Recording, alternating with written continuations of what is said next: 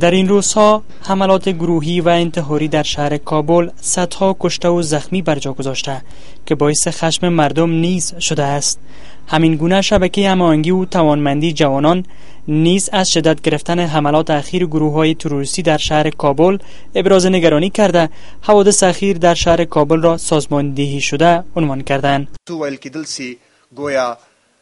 مختلف توجیهات به ملکي تلفاتو ته ورکول کېدل، خو اوس له دیارلسو کلونو وروسته دا په قاطعیت سره د افغانستان ولس ته او د افغانستان ملت ته په ډاګه شوې ده چې ملکي تلفات یو عمدي سازمان یافته کار ده او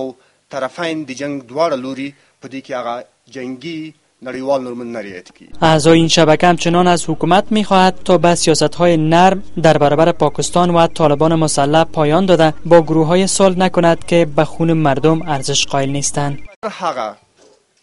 جریان، هر هغه ملیشهیی جریان، هر هغه ناقض جریان سی په مختلفو نومونو د افغانستان خلک وژني او په مختلفو نومونو مشروعیت اخلي د هغو په وړاندې قاطع او جدي برخورد وکړي. یعنی دا جریان کا تر هر نوم لاندې در این میان کمیسیون حقوق بشر کشور نیز افزایش تلفات افراد ملکی در چند سال گذشته را نگران کننده دانسته تاکید دارد بررسی ها از شش سال گذشته نشان می دهد که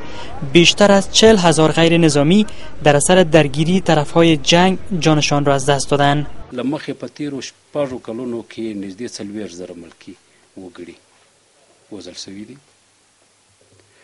تر ټولو خطرناک کال تیر کال بدبختانه نورو کلونو کې معمولا هغه رپورټونه چې کمیسون درلودو د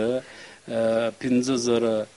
پنځه نیم زره یعنی یو کال یوازې په تیرو کلونو کې شپږ زره ته رسېدلي دي ملکي تلف پیش از این نیز سازمان ملل متحد گزارش را منتشر کرد که در آن تلفات افراد ملکی در مقایسه با سال گذشته یک درصد افزایش را نشان میداد.